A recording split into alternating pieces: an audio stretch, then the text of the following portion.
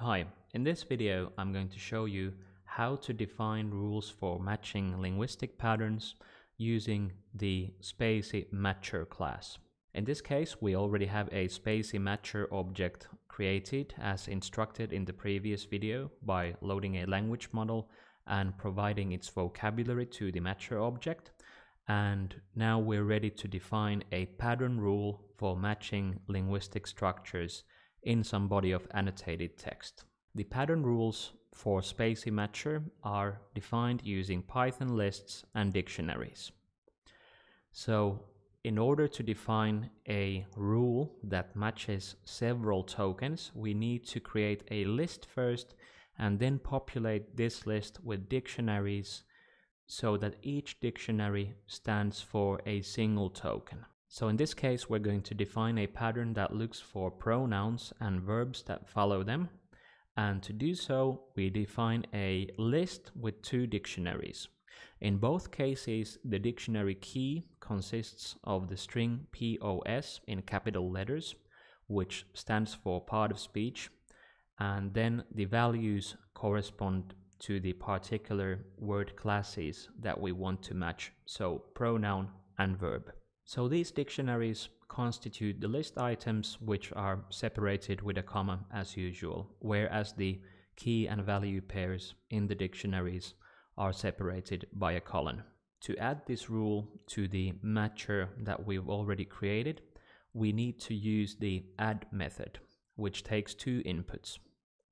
The first one is a name for the pattern, which is just used to distinguish between multiple patterns because a single matcher can hold several patterns. And the second argument is named patterns, which takes a list of lists as input. So if you're wondering why we wrap the list under the variable pronoun underscore verb again in square brackets for input to the patterns argument, this is simply because we need to provide a list of lists because this allows the matcher to contain several pattern rules under the same identifier or name for the pattern. To use the matcher and the pattern that it now contains to search some text, we simply feed a spaCy doc object to the matcher object.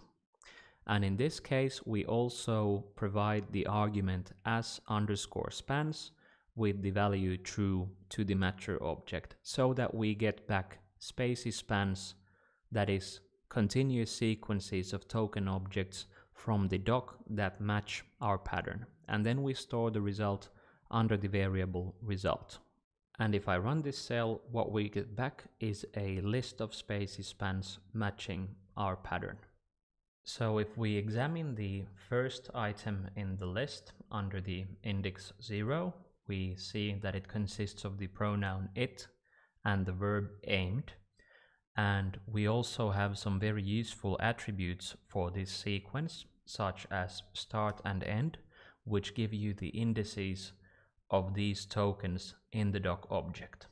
You also have a label under the attribute label, which gives you this weird sequence of numbers. This weird sequence of numbers is actually a spaCy lexeme object which corresponds to an entry in the language model's vocabulary and we can use this lexeme to index the vocabulary as shown in this cell right here and to fetch the text attribute for this lexeme which gives us the name of the pattern that we defined for the pattern um, that we added to the matcher. This is useful for distinguishing between multiple patterns contained in a single matcher object. spaCy pattern rules can be made more flexible by using operators which are added to the dictionaries that correspond to individual tokens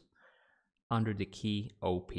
To illustrate the use of operators, let's add another token into the pattern that we defined before and use the operator plus to allow this token to occur one or more times. So what we do here is we define another list named pronoun underscore aux underscore verb, which consists of a list with three dictionaries. And in the middle dictionary, which stands for the auxiliary between the pronoun and the verb, we also have the operator under the key OP, which has the value plus, indicating that this token, an auxiliary, can occur one or more times. And then we simply add this rule to the matcher under the name pronoun plus aux plus verb. And then we search the doc object under the variable doc for matches and request the results to be returned as spans. If we loop over the results and print out the name of the pattern and the sequence that matches the pattern, that is the spaCy span object, then we'll see that this matcher now can match pronouns and auxiliaries and verbs regardless of how many auxiliaries there are between the pronoun and the verb. And this is due to having the operator plus included in the pattern rule. Thanks for watching, I hope you found this video useful and if you have any questions about spaCy matchers then feel free to leave a comment below. Thanks.